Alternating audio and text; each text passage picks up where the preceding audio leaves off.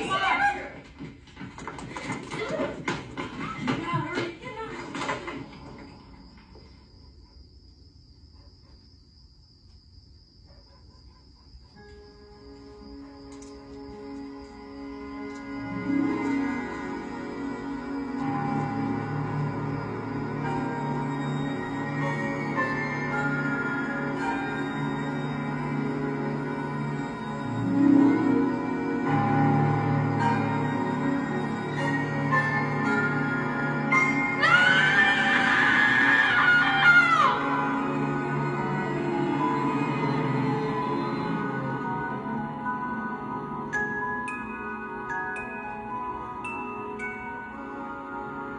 When Dad died, Mother's grief overwhelmed her.